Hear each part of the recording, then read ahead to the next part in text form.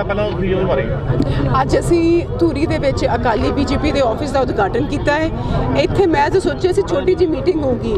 ਤੁਸੀਂ ਸਭ ਨੇ ਦੇਖਿਆ ਹੈ ਤਾਂ ਇੱਥੇ ਰੈਲੀ ਵਰਗਾ ਰੂਪ ਧਾਰਨ ਕਰ ਲਿਆ, ਕਿਉਂਕਿ ਸਾਰੇ ਹਲਕੇ ਵਿੱਚ ਸਭ ਨੂੰ ਬਹੁਤ ਉਤਸ਼ਾਹ ਹੈ ਪਰਮਿੰਦਰ ਜੀ ਦੀ ਨੰਬਰਤਾ ਨੂੰ ਤੇ ਵਿਕਾਸ ਪੁਰਖ ਨੂੰ ਦੇਖ ਕੇ ਹੋਏ ਉਹਨਾਂ ਨੇ ਪਰਮਿੰਦਰ ਜੀ ਨੂੰ ਪਾਰਲੀਮੈਂਟ 'ਚ ਪਹੁੰਚਾਉਣਾ ਹੈ। ਕਿਸ ਤਰ੍ਹਾਂ ਦਾ ਚੋਣ ਪ੍ਰਚਾਰ ਚੱਲ ਰਿਹਾ ਆਪਣਾ? ਦੇਖੋ ਬਹੁਤ ਜਿੱਥੇ ਵੀ ਮੈਂ ਪਿੰਡਾਂ 'ਚ ਜਾਂਦੀ ਆ ਅਕਾਲੀ ਦਲ ਦੀ ਵੋਟ ਤਾਂ ਖੜੀ ਖੜੀ ਆ। ਪਰਮਿੰਦਰ ਜੀ ਦੇ ਕੰਮਾਂ ਨੂੰ ਵੇਖੇ ਹੋਏ ਜਦੋਂ ਮੈਨੂੰ ਬੀਬੀਆਂ ਇਹ ਗੱਲ ਕਹਿੰਦੀਆਂ ਅਸੀਂ ਕਾਂਗਰਸੀ ਸੀ ਪਰ ਪਰਮਿੰਦਰ ਜੀ ਦੀ ਛਵੀ ਨੂੰ ਦੇਖੇ ਹੋਏ ਇਸ ਵਾਰੀ ਅਸੀਂ ਵੋਟ ਪਰਮਿੰਦਰ ਜੀ ਨੂੰ ਪਾਉਣੀ। ਤੁਸੀਂ ਆਪੇ ਦੇਖ ਲਓ ਕਿੰਨਾ ਉਤਸ਼ਾਹ ਹੈ ਸਾਰਿਆਂ 'ਚ। ਭਗਵੰਤ ਮਾਨ ਬਾਰੇ ਤੁਸੀਂ ਕੀ ਕਹੋਗੇ? ਦੇਖੋ ਢੀਂਸਾ ਪਰਿਵਾਰ ਦੀ ਇੱਕ ਪਾਲਿਸੀ ਆ। ਹਮੇਸ਼ਾ ਵੱਡੇ ਢੀਂਸਾ ਸਾਹਿਬ ਨੇ ਵੀ ਪਰਮਿੰਦਰ ਜੀ ਨੇ ਵੀ ਇੱਕੋ ਗੱਲ ਕਹੀ ਆ ਕਿ ਨਿੱਜੀ ਗੱਲ ਨਹੀਂ ਕਰਨੀ ਚਾਹੀਦੀ।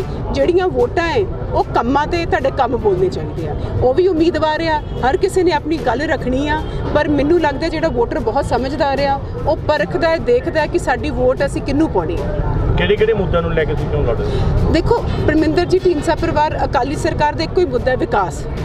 ਉਹ ਅਸੀਂ ਜੇ ਜੇ ਤੁਸੀਂ ਪੁਰਾਣੇ ਰਿਕਾਰਡ ਕੱਢ ਕੇ ਵੀ ਦੇਖ ਲਓ ਜੇ ਵਿਕਾਸ ਹੋਇਆ ਹੈ ਅਕਾਲੀ ਦਲ ਬੀਜੇਪੀ ਸਰਕਾਰ 'ਚ ਹੋਇਆ ਹੈ ਆਪ ਦਾ ਕੋਈ ਵਜੂਦ ਹੀ ਨਹੀਂ ਆ ਕਾਂਗਰਸ ਨੇ ਹਮੇਸ਼ਾ ਲਾਰੇ ਲਾਏ ਆ। ਕਹਿਣ ਦਾ ਮਤਲਬ ਢੀਂਡਸਾ ਸਾਹਿਬ ਦੇ ਰਿਕਾਰਡ ਬੋਲ ਰਹੇ ਆ ਪੂਰੇ ਹਲਕੇ 'ਚ। ਤੁਸੀਂ ਸਭ ਜਾਣਦੇ ਹੋ ਦੇਖੋ ਮੈਂ ਹਲਕੇ ਦੇ ਵਿੱਚ 40 ਸਾਲ ਪੁਰਾਣਾ ਢੀਂਸਾ ਪਰਿਵਾਰ ਨਾਲ ਰਿਸ਼ਤਾ ਹੈ। ਮੇਰੇ ਨਾਲੋਂ ਜ਼ਿਆਦਾ ਸਾਰੇ ਜਾਣਦੇ ਆ ਕਿ ਢੀਂਸਾ ਸਾਹਿਬ ਦੇ ਇੱਕ ਕੰਮ ਤੇ ਵਿਕਾਸ ਦੇ ਵਿੱਚ ਆ। Thank you